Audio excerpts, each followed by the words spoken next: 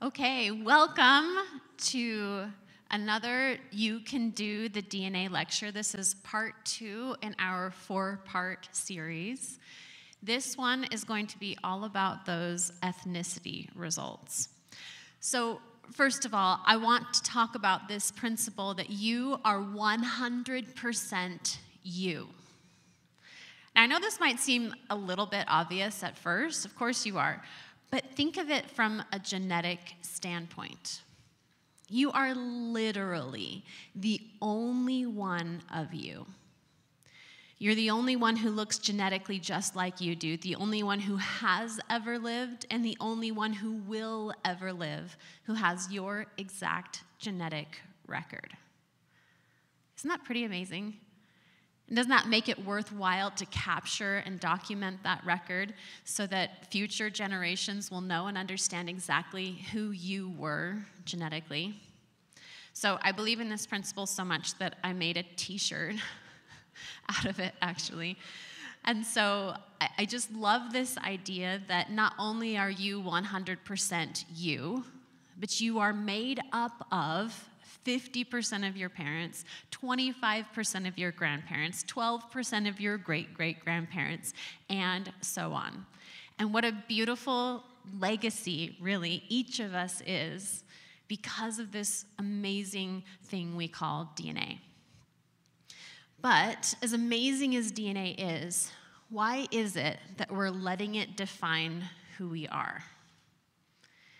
Ever since DNA testing really became part of it, a global product in the global market. So this year we're celebrating 25 years of genetic genealogy.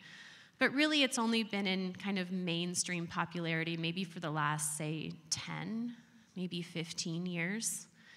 But ever since then, it has become a global phenomenon. If you go to YouTube and you Google DNA test result reveal, you get hundreds of videos of regular people. And when I say regular people, I mean these aren't even genealogists, these are just regular people who take a DNA test and they have these kinds of reactions when they open their ethnicity results.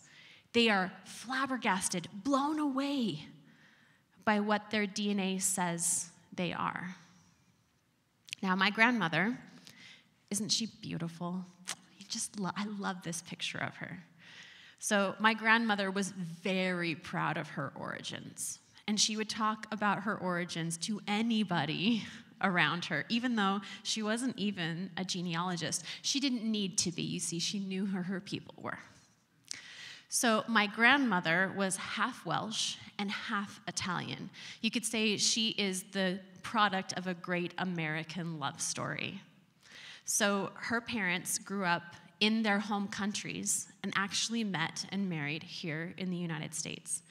And so while she did identify as Welsh, her heart was in Italy. So her family was from Traversella, Italy. And if you asked her about it, she would tell you Traversella is way up in the Alps. And the reason that she was more identifying with her Italian side is because her grandmother was the one who brought her mother over from, um, from Italy. And her grandmother lived just down the street, and my grandmother spent every single day with her grandmother speaking Italian. In fact, my grandmother remembers one argument between her parents growing up, and it was because her father was telling her mother that it was time that she spoke English because she only spoke Italian. And so my grandma identified so fully with the Italian part of her, even though she was also half Welsh, right? Now, in the early days of ethnicity testing, sometimes we call it biogeographical testing.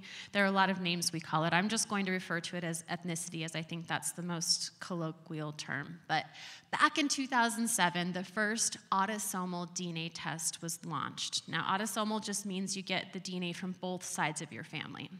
And the DNA testing companies were able to tell us if we were part of one of these three categories. You could be European, Asian, or African. And we were so impressed. We were like, oh my gosh, how did they know that about me? I'm 100% European. Crazy. We were just over the moon. And now we're nitpicky, right? We're like, they totally underestimated my Irish. This is not right. Okay? So I just want you to recognize how far we've come in this really short timeline. We now have five DNA testing companies willing to offer you their estimate of your ethnicity. And make sure you're hearing that word. It is an estimate, it's not meant to be exact. They know it's not exact. This is an estimate of your heritage. So, I want to talk about two different kinds of ethnicity results that are currently available from our DNA testing companies or from some of our DNA testing companies. So, let's talk first about the then results. The kinds of results we get from our ethnicity that tell us about our ancestors a very, very long time ago. These ethnicity results reflect your heritage maybe 2,000, 3,000 years ago. They look like this, very familiar to us. It's the map with all of the percentages. But again, it's important to understand that these maps and percentages aren't supposed to reflect your very recent heritage. They may, but some of the locations definitely represent very deep ancestral locations that you may never find on a document or be able to put on your family tree. So, to understand these results, we are going to talk about the science of them. Isn't that fun? Yes. Okay, I promise it'll be fun, I promise. And then we're talking about the application of these kinds of results. So let's talk first about the science of it. Now, I'm going to give you kind of an overview of the science. If you really like science, I encourage you to go out to our blog. So it's yourdnaguide.com slash YDG blog. And there's a search box right at the top. And put in the name Janie. So Janie and I have been friends since college and uh, she's the smart one. Okay, so I've asked, asked her to write all of these really awesome, scientifically based articles about your ethnicity results. So if you're interested, I encourage you to go out and read Janie's full articles on these subjects. But for now, we're going to discuss two aspects of the science reference populations and what I call fancy math. So let's start with reference populations. So the thing about reference populations is that each of our companies is using different reference populations. These are the people they're comparing you against. So if your heritage is from Croatia, for example, but our DNA testing company does not have a Croatian reference population, will they be able to tell you you're from Croatia? No. But the thing is, they're not going to say, huh, I, I don't know where you're from, because that would be a bad product, right? In their mind. It'd be better for us. But they're not going to say that. Instead, they're going to say you're from somewhere else. But you're not, right? So it's really important to understand the available reference populations at our DNA testing companies, and I've put a link to that in the handout, which you can get through the app, so that you can kind of dig deeper into the different reference populations. I'm going to give you an overview, just a very general overview. In general, family tree DNA is breaking up the world into a few reference populations. In general, these are broad. You can see my circles. They're kind of representing these different places. And so, in general, these reference populations are not going to be specific. They are going to tell you about an area where you may be from. Now, this is opposed to Living DNA, which is a DNA testing company really hyper focused on the UK. They have uh, like 50 populations just in the UK. So if you have UK ancestry, sometimes it can be really valuable to test with living DNA and get that more distilled breakdown of your heritage from them. Then we move out to Ancestry, MyHeritage, 23andMe. They have many more reference populations. but they're very similar to each other in the number of reference populations.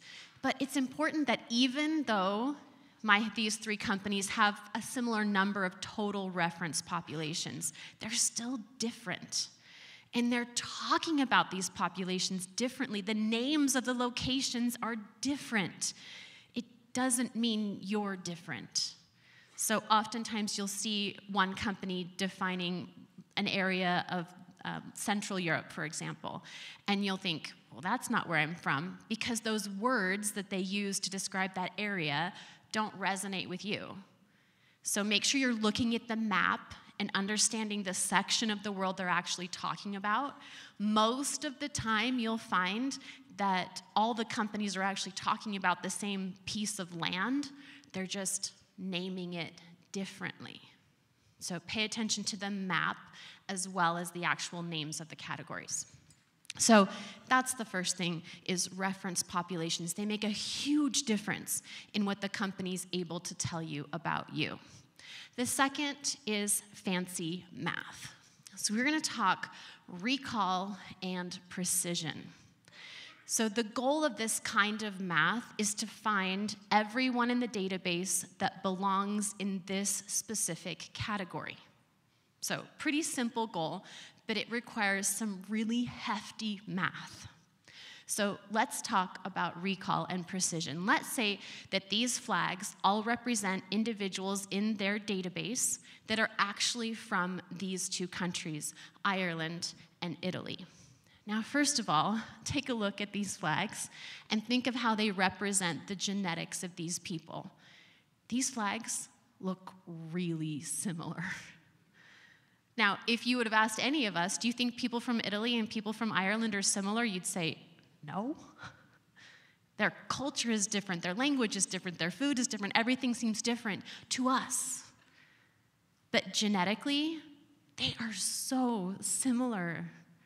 We are all so similar that even the fact that we can even attempt to siphon off Irish people from Italian people using our genetics is amazing. So please, again, don't lose the magic of this technology. It's incredible that we can do this at all. Okay, so let's talk recall. So, recall, the goal of recall is to get everybody in the database back to their home countries. Okay, so if we're talking recall and we want to, to look at our data set, high recall would be where everybody gets back to their home country. Does that make sense? So they put out this mathematical signal that goes into their database and pulls out of it only people that belong in Ireland and people that belong in Italy. So low recall is what I've shown here, actually, sorry. Low recall is where some people made it back to their home country, but not everyone, right? So high recall is when almost everyone or everyone makes it back to their home country. Okay? But we have to balance that with precision.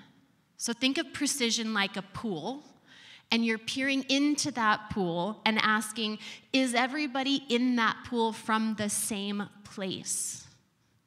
When you have high precision, everybody's from the same place. You're looking in the Irish pool, and everybody's from Ireland. Low precision is where there's people from other countries that got told they were from Ireland. Okay, so you have to balance these two principles. You have to balance recall and precision. If one is too high, the other gets really low. Okay, so it's hard. It's really hard. It's, it's a difficult balance that these companies are trying to make. And so you have to understand that they're doing their best, but sometimes you're getting recalled to the wrong country. Okay? So we have some clues from some of our companies about these recall and precision practices. So at Ancestry DNA, if you click on any major category in your ethnicity results. So here I've clicked on Germanic Europe. You'll get this kind of detailed view of Germanic Europe.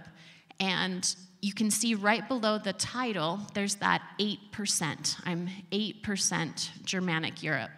If you click on that 0 to 39%, or you click on that, I'm sorry, learn more about this map and ethnicity, it pulls up some information about recall and precision. But of course, they don't use those words because they're not into fancy math like we are. They want to make it easy for you. But essentially, they're showing you this map. And let me tell you what this map means.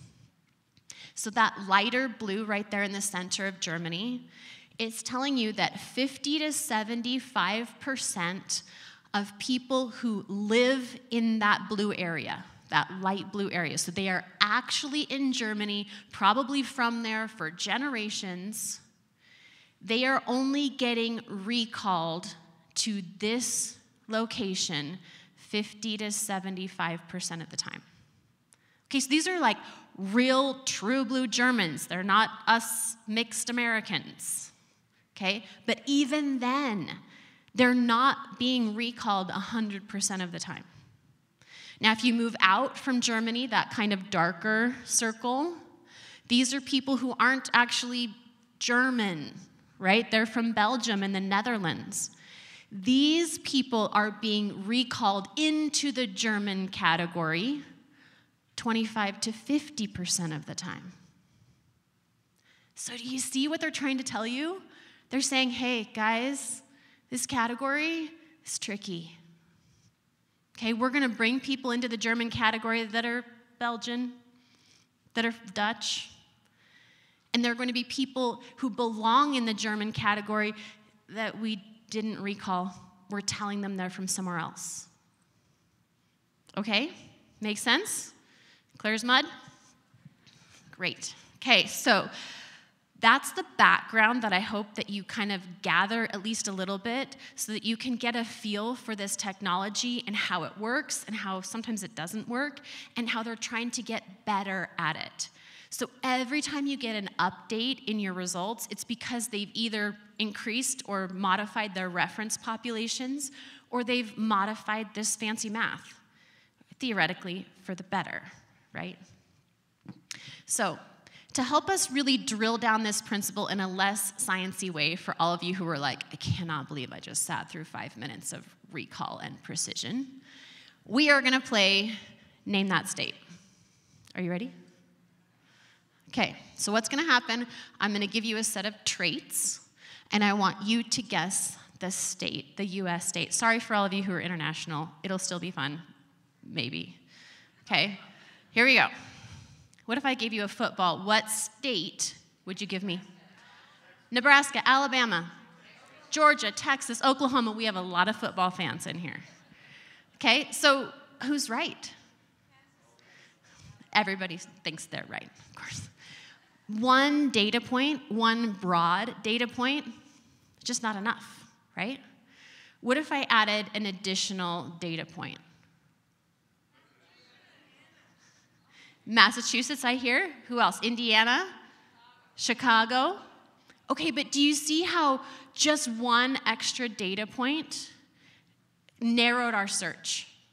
It couldn't be all of those places because we added one extra data point. And this is something that our companies are doing. They're creating these kind of clusters of genetic data points that define specific populations. But in the end, even though this data point could be assigned to multiple states, the company has to make a decision. They have to call it. And so we're doing Fighting Irish Notre Dame. Now, is that going to be the same for every Irish football fan? No, but will it en- encompass maybe a majority of Irish football fans? Maybe, right? That's what they're hoping. That's what the estimate is meant to do. It's meant to capture the majority of situations, but not 100% of them. Okay, let's try another one. Rain. Washington, Florida. Yeah, there's some pretty rainy states, right? Okay, what if I add recycling? Okay, I'm here in Washington and Oregon. What if I added a third data point? Organic blueberries.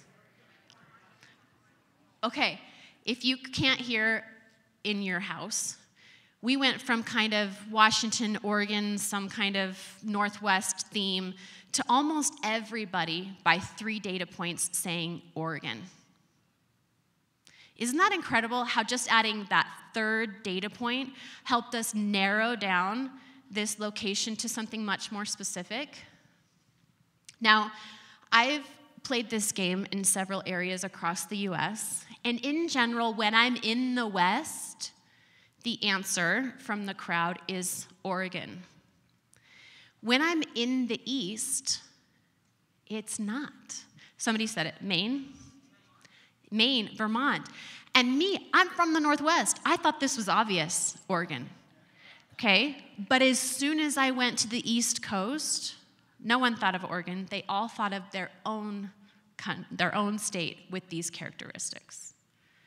So the bias that can sometimes be introduced into data because of the data you've already collected. Does that make sense? So if you have a ton of people from north the, from the northwest in your data set, your data set will be biased towards the northwest.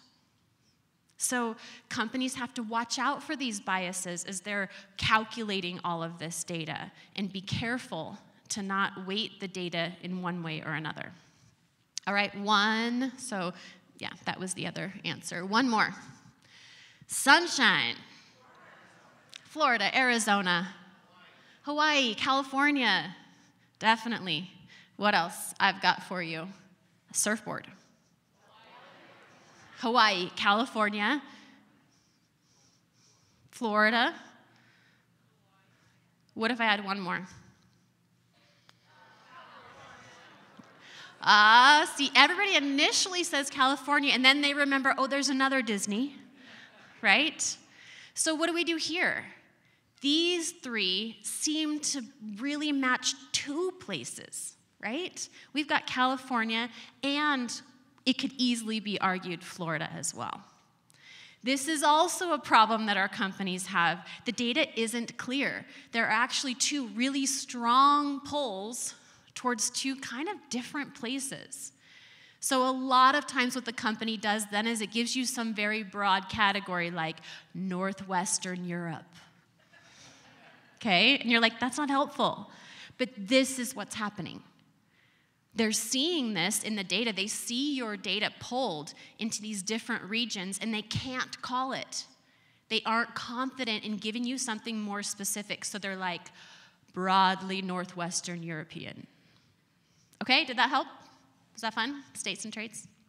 Okay, now that we're done with the science, and I hope you really feel confident in your understanding of what's going on in the back end, let's talk about application. How do we actually use this information in our family history? So, we're going to do three things. We're going to explore a side view, I'm going to give you a tip about endogamy, and we're going to divide it up. So, exploring side view. So, the side view technology at Ancestry DNA is meant to help you determine which ethnicities you received from your mother and which you received from your father. So, this is now uh, part of a subscription program at Ancestry. So, if you can't see this, it's probably because you don't have a subscription. But what happens is you come to this page and they tell you maternal and paternal. Well, actually, they tell you parent one and parent two. You have to assign which is maternal and which is paternal. Ancestry cannot tell. They can't tell. You have to tell them, based on what you know about your parents, which is which.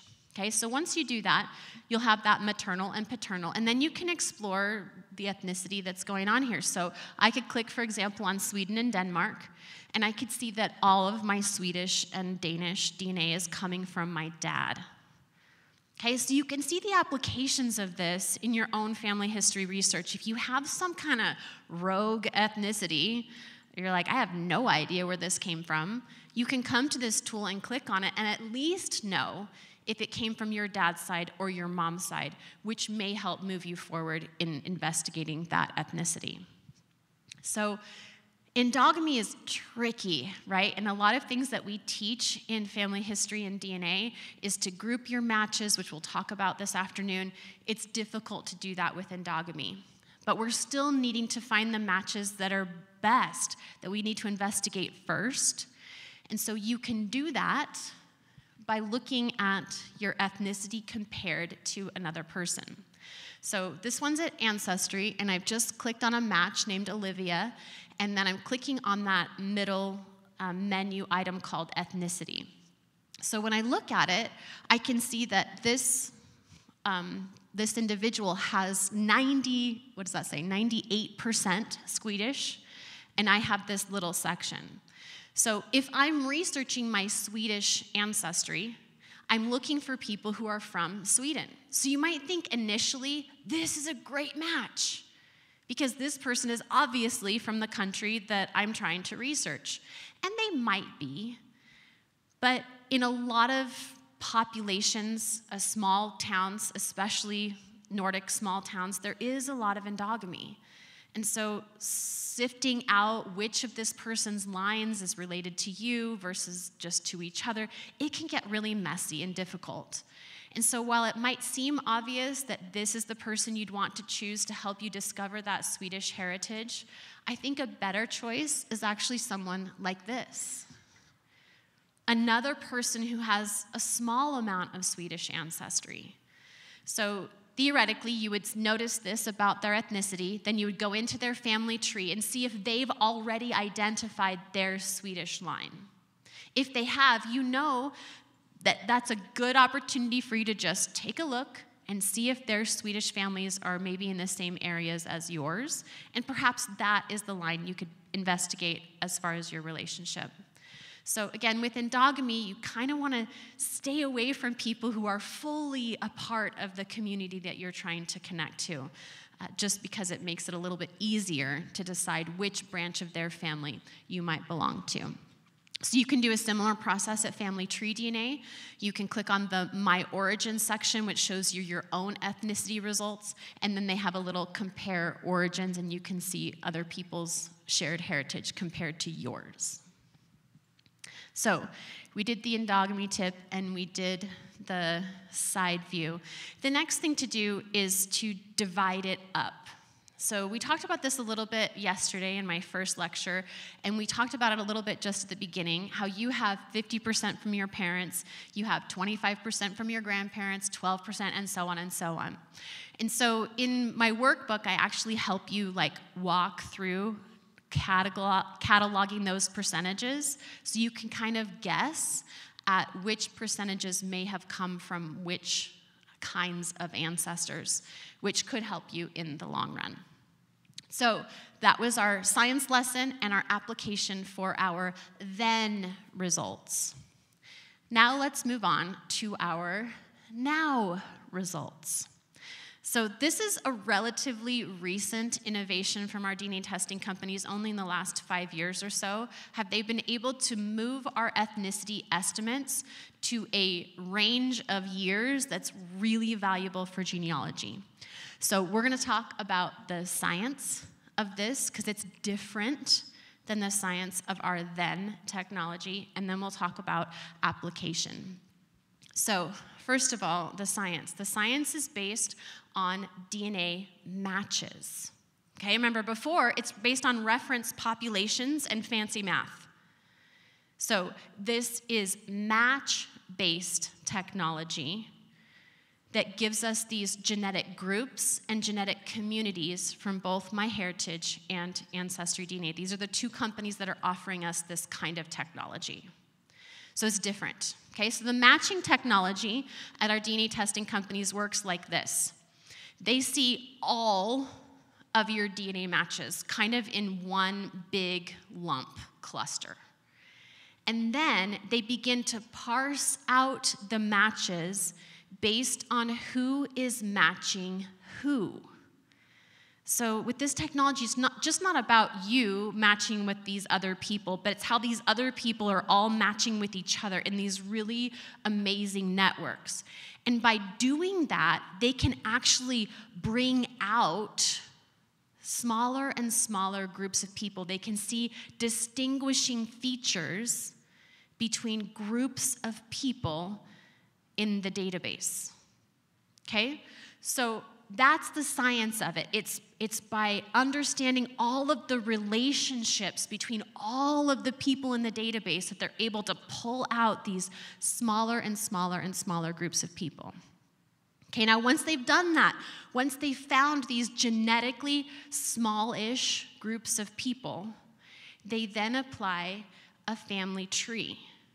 That's the bonus or the benefit of both MyHeritage and Ancestry. They have a massive collection of family trees. So they can take the genetic information and they can lay genealogy information on top of it and give us some really amazing insight into who each of these groups are. Now, when I saw this happen for the first time, it was years ago when I was still part of the Sorensen Molecular Genealogy Foundation. And if you came to our 25th anniversary celebration yesterday, you heard Dr. Scott Woodward talk a little bit about this. But I was sitting in a conference room, and it was dark, and Scott put up some slides, and it was our early data. And in the early data, he had done just this. They had been able to pull out of our small little SMGF data set this groups of individuals. And he showed them on the screen. It was a blue screen with kind of these white clusters on it. And he said, Look at this, we, we did it. We did what we thought we could do. We could genetically group people based on their matching similarities. And then he said, But that's not all. Because with the Sorensen project, we collected family trees with every DNA sample. So we were able to go in to each cluster and see what is similar about the people in this cluster. Where is their common location? And we were, and the clusters that we were looking at were all of the, like um, Tonga, Hawaii, the Philippines. And you could see so clearly these separate clusters from these separate island populations who are all related to each other. It was fascinating. And we were all so excited. It works, guys, and it continues to work for us now in these much, much larger data sets. So the thing is, when you zoom in to each of these clusters, you find within each cluster are even smaller clusters. So the more people that test, the easier it is for these companies to pull out these smaller clusters within a larger cluster. So let's say this larger cluster, when we look at the trees, we see everybody in this larger cluster is from Germany. But when we drill down and we pull out even smaller clusters, we can see even more definition that these people are from the area of Germany we call Saxony. And even better than that, there are four separate areas within that smaller area. It's amazing. I, can you guys feel how amazing this is? It's incredible. It's incredible that they can look at your DNA and tell you something as specific as you're from Saxony and Bavaria. These communities and groups are very accurate because of the way the technology works. Now, a big question I always get asked is okay, but they're using family trees from Ancestry and MyHeritage. Do they know how wrong they are? Okay? And that's the thing. Because there's so much data, the wrong answers fall out. Like, it's obvious these people are wrong, and they just they fall out. They pull it out of the data set because it doesn't match, right? But we don't need everyone to have the right tree in order for this technology to work. That's the beauty of big data. Okay? So that's the science of DNA matching, of this kind of technology. It requires both the DNA matching and the family tree information in order for it to work. So, how are we going to apply this technology to our own family history research? The principle here is that every genetic community or group that you see in your DNA test results has a home on your family tree. So, you see how that's different than our then results, where you might get like 4% Middle East, and you might never find out where that goes on your family tree? But these communities and groups absolutely get a home on your family tree. So this is your homework is to find them all, okay? And put them on your tree. So for my grandma, I have her here at MyHeritage. And remember, I told you she was half Welsh and half Italian. And if we look at her results, if we kind of zoom in, the first thing you see here at the top, I just wanted to mention this is MyHeritage's kind of recall and precision for their then results. You can play with this little filter at the top, but this filter also affects the now results. It also affects the groups. So, if you want to see how confident MyHeritage is that you belong in a certain group, you need to move this lever all the way over to the left to the high. And that will tell you that they have high confidence that you're a part of one of these groups. Okay? So play with that little filter at the top to see, again, how confident they are that you are in these groups. But here for my grandma, you can see that she's got this um, I want to read it so I don't get it wrong. That, so she's got the Welsh group right there under that Irish, Scottish, and Welsh. And then additional genetic groups you can see there underneath below. So if we look at these, you can see almost all of them are connected somehow to her Welsh family and community, which tells us what? Well, number one, it tells us that probably MyHeritage has a better representation of people from Wales in their database than they do from Traversella, Italy, which is this little tiny town way up in the Alps, which makes sense, right? And so, understanding again about your own populations and about who's likely to be tested, it definitely affects the results that you get. What's interesting though is that my grandma has this other population that says northeastern and midwestern USA. This is not in my grandma's family tree. Remember, her parents came essentially directly from their home countries to Washington state. Did not pass go, meaning they didn't cut through the Midwest, they didn't cut through the Northeast, they literally came from one country all the way to the other side of ours. So, why does my grandma have these genetic group connections to the northeastern United States and the midwestern United States. And this is what's so cool about this technology. Her DNA is identifying her with that place, not because she's personally or her family line is personally from that place. What it says is that people with her genetics are from those places, which means this is telling me about a migration pattern of her family, like, so her ancestors who had descendants who came through the Northeast and through the Midwest. So if I'm looking for other information about her ancestors and their descendants, I will find them in the Midwest and in the Northeast. So sometimes these reveal information not about our own personal lines migration patterns, but about the migration patterns of our larger family group which is pretty cool. Okay, so no matter how, though, these communities and groups should have a place somewhere in your family tree. So if you click on that um, Northwestern and Midwestern group, you can see all these little um, splotches and dots from MyHeritage, which again is them trying to help us identify where these people were from and how they got here. They also have uh, top places that they came from, they have top surnames that you can look at. All things worth your time and worth exploring within this MyHeritage tool. There's a lot, a lot to look at here. This is just one more example from Ancestries. This is my mom's family. And again, what I want you to do is go through each of the communities that it's offered and check them off. Yep, I know where that one is. Yep, I know where that one is. So for my mom, I can get that Germans from Austria Hungary and the Don Steppe, as well as the upper Midwest settlers. Those are checked off on my mom's direct maternal line. The thing is, my mom was adopted, and this paternal line is still a little bit of a mystery. We know quite a bit, but not all that we want to know.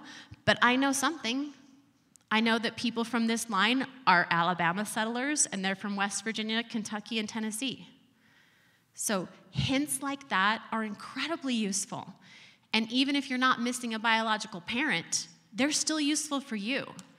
I did a coaching session once with a man who's missing a two times great grandfather. The guy just shows up in Ohio in like midlife. He's like 40.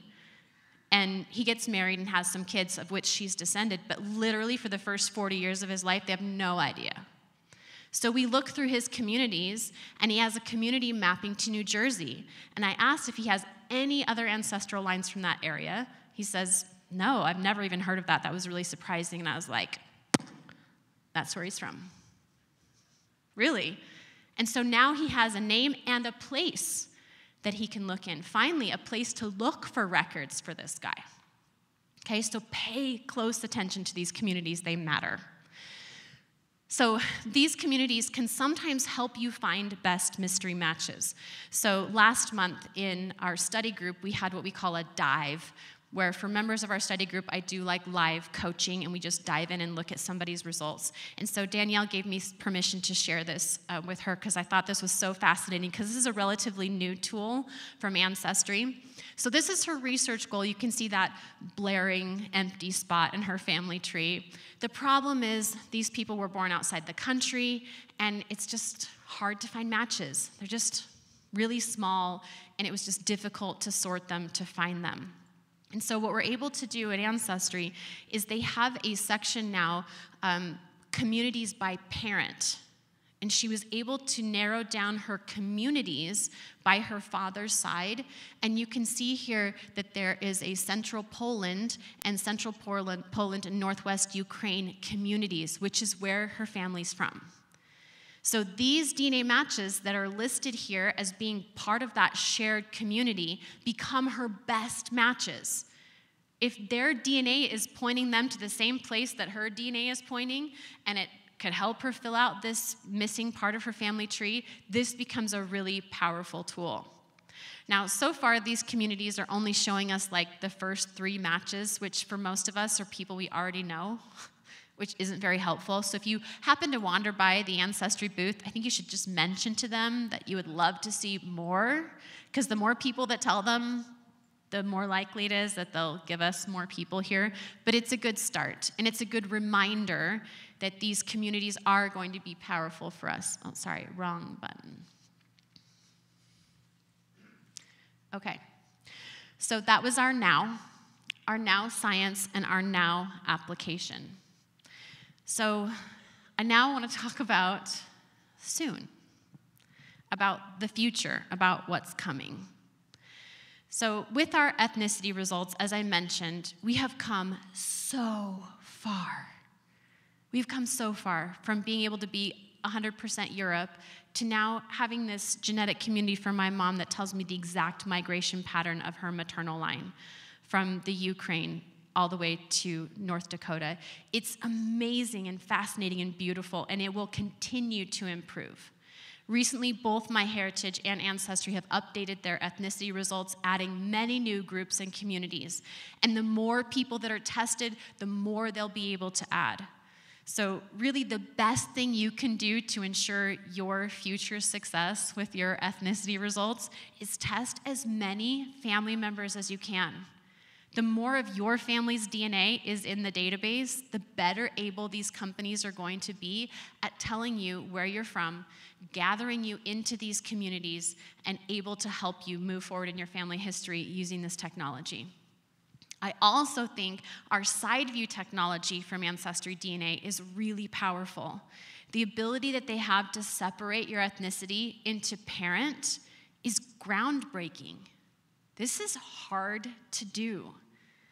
And I don't think it will be very long before we'll be able to separate our ethnicity into our grandparents. And wouldn't that be amazing? So, we need, as I said yesterday, we need more really smart people to think about these problems. The data is there, there's so much data. We need statisticians and mathematicians and software engineers to take an interest in our cause and help get into this data and pull out these kinds of useful tidbits that are going to teach us more about where our family was from and when they were from there. But I think maybe even more important than that is what this technology can do for our future generations. So, I had the opportunity to be part of a project headed up by Living DNA, one of our DNA testing companies. What we did is we took DNA test kits into a, a school in Atlanta, Georgia, an all girls school. And we tested these girls on both their ethnicity results, and we also gave them their mitochondrial DNA. And mitochondrial DNA traces only their direct maternal line. So I was able to go to Georgia and to talk to these girls and to explain what these results meant and to help them understand what exactly we had done for them. So the way we broke it up is I we identified groups of girls that shared similar a similar population. I invited them to come and sit at a table together. And then I gave them their results and I told them, "You are all have heritage from Tonga, for example." And they would look at their results and they would look around at each other. And one of the girls said, We're all sisters. Can you imagine a group of middle school girls sitting around a table with each other and recognizing for the first time that they weren't different? There was such a sense of awe and community, and they were blown away by this knowledge that they were connected to each other. They had a common origin, they had a common family line. Their DNA was common to each other. I had another girl who said, I have to tell them, my family, that the color of your skin can't tell you where you're from. Think if every middle schooler understood this principle. Think how it would change how they see not just themselves, but their fellow classmates. Think how it would change the way they treat each other. Ethnicity results in this way because DNA has the power it does. And again, I don't know why. I don't know why we've let DNA be in charge of our identity. I don't know why we've given it that power. We have. We've decided we are who our DNA is. But we can harness that interest, that spark of DNA, especially in the younger generations, because it's cool, it's interesting, it's self. And we can help them see yes, your DNA does represent who you are, and it connects you irrevocably to those around you and gives you that commonality, that origin that's so hard to see when you're a kid. You just see different, and you only want you. You want what's like you. So it is my like big dream that we'll be able to take this kind of program into many, many, many schools. And we'll be able to teach many, many middle school students that they are just like the person next to them. And we should all treat each other with just a little more respect. So that's my hope for where the future of ethnicity testing will go, is to lead our younger generations to be more accepting of those around them. So, what we've done already here in RootsTech, yesterday we did our part one of You Can Do the DNA. This is part two. Part three is coming up later this afternoon today at 1.30. We are going to be talking about that DNA match list and how to analyze it, how to group it, what to do with it. So that's 1.30 right here in this room. Saturday, we'll do part four, and we're going to go through a real case study, start to finish, so you kind of understand the full process of what goes on here. And then, because I had too much to say, I know, surprising, right? I added another webinar this coming week on Thursday, so it'll be a free webinar. I just didn't feel like I could tackle two case studies in uh, part four, so I made it part five. So if you're interested, you can watch it from home. Of course, some of you are already at home. So March 7th at 2 p.m., you just need to go to our um, website and register so you get the link. And I found the feedback forms. This is in the app. So RootsTech really appreciates it when you take their surveys so they know what content you like, what presenters you like. So if you go to the app, you click on Take Survey, it'll bring up the survey. And then I don't want you to have to think any more than you already are. It's just fives all the way down. Just, just, just, you don't have to read it, just fives. and then click submit, and that will help them know what it is that you do and don't like about the things you see here at RootsTech. So this is the QR code to sign up for that webinar. I thought I'd put it up here in case you wanted it, but it's also at our booth if you want to make sure you get on that list so I can send you the link. But we do have about 10 minutes for questions if you would like to ask them.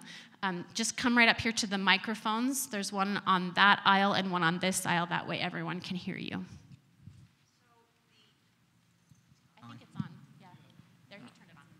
Go ahead. I think he turned it on. Okay. Yeah. Whoa. Sorry. um, so, what do we do with the one percent? So, good question. So, part of what I do in, in the workbook I was telling you about is like it helps you combine all of your ethnicity percentages from all of the different companies kind of into one master list. And so, for the 1%, I want to know do you see it somewhere else? Is there a 1% in any other company you've tested at? If not, it's probably not something to really be concerned about. If you see it kind of consistently, then maybe it's something you need to look into. Okay. Yeah. Okay, let's hear it. Okay, I have test well, I tested Ancestry, uploaded to Family Tree DNA and MyHeritage. Ancestry shows me that I am 15% Swedish, Norwegian, Danish. MyHeritage shows me I am 35% from those three countries. And uh, Family Tree DNA said I am nada. Okay, now I understand now why there's no Lars Larson in my documentary gene- genealogy. And maybe I understand why Family Tree DNA doesn't have a Scandinavian background population, but I'm still kind of going 15%, 35%. I, you know, if they were closer, I'd go, eh but they're not. right. Okay. So she's got this range, 0 to 35% from this general Nordic area of the world, and she's trying to reconcile this. Okay, so a slide I didn't show you, but maybe should have, is that when they run your ethnicity results, they run it through their system like a thousand times. And every time they run it through the system, they get a different answer. That's the kind of math that this is. It doesn't make sense to us because we know that 1 plus 1 equals 2 every time. That's math, not this kind of math. Okay, so they run your same data through their same system a thousand times, and they get a different answer every time. What they report to you is the average of all of those runs. Okay, and so the, the, the range of that might be 0 to 35%, and one company might be telling you that higher end, one is the very low end, and you got one kind of in the middle. So range is one idea, but why didn't they all average out to the same number at every company, right? That doesn't make sense. So, as far as the 15 and 35% goes, I think a good explanation for that is the idea that where at Ancestry it's 15%, where's the other 20% gone? Right? So you look at your full ethnicity results in Ancestry and like, okay, if I'm missing 10%, 20% of something, where'd they put it? Right? And then you kind of start to see, oh, they put it in this nearby country, or they put it in this nearby region. And then we've got that situation with the Germans, right, that I showed you how sometimes they get recalled back to their home country, and sometimes they don't, and sometimes they get put in the wrong place, but it's kind of nearby.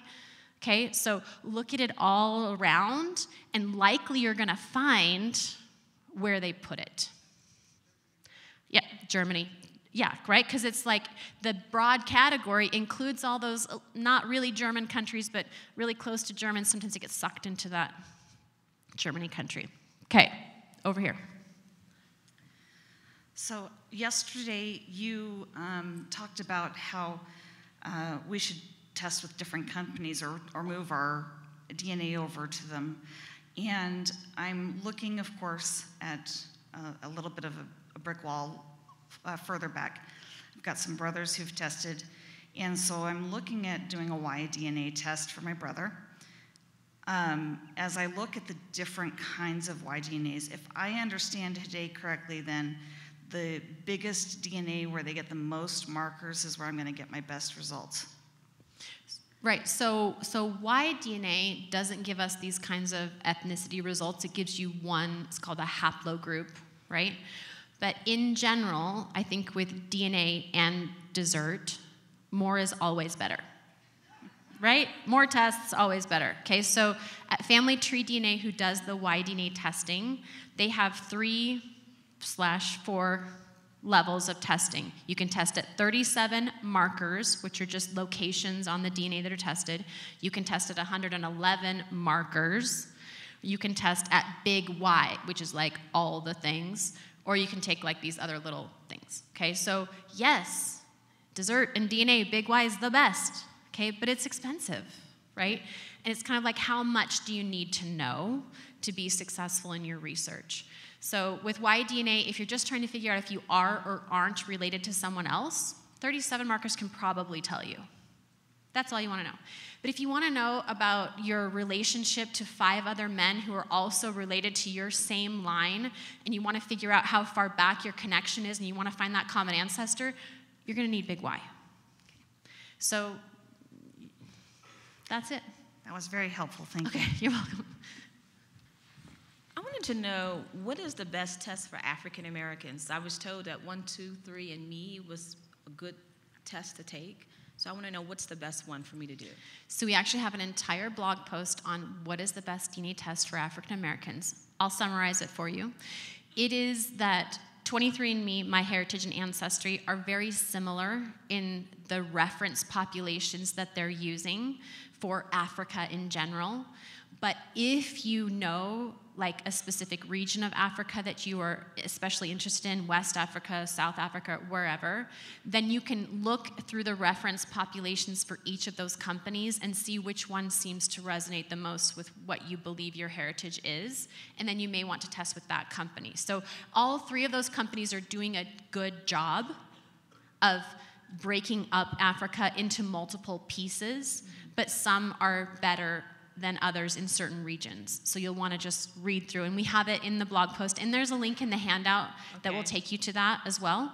And so just kind of read through and see which one you think is going to match what you need. So I have no idea. So Okay, so then you you have tested all of them. It's Yeah. yeah. Okay, sound, Okay. thank you. And just by the way, the best way, if you weren't here yesterday, to test at all of them is if you test first at Ancestry, you spit in their tube, and then you transfer, which means you download their data to your computer. You can upload it into MyHeritage for free. And then you pay a $29 unlock fee to get their ethnicity results. And then you'll be in both Ancestry and MyHeritage for, you know, the price of an Ancestry kit plus $29. So that's the, that's the most efficient way. And then you have to physically test at 23andMe again. But you could get in those two for relatively inexpensively. Yeah. Hello, thank you. First of all, I want to thank you for your presentation. You are so clear. Oh, you know, you you thank you. You've you've made it very understandable. Good. Thank you. Thank you. My my um, question is, um, I followed your recommendation of trying to get as many family members to, to get their uh, DNA tested, and I now have, and we've gone through Ancestry.com, so we all have, we can I can access their information. I have six first cousins on my maternal side who have gathered, who have taken the test, and as you probably know, we're going to have a whole range of percentage of estimated ethnicity. So my question is, how do you um, explain, for example, my indigenous heritage, which amongst my first cousin ranges from 27% to 42%. And, that, and that goes on for all the other estimated uh, ancestries that, that uh, were listed. First of all, amazing that you have that many first cousins tested. Way to go, you.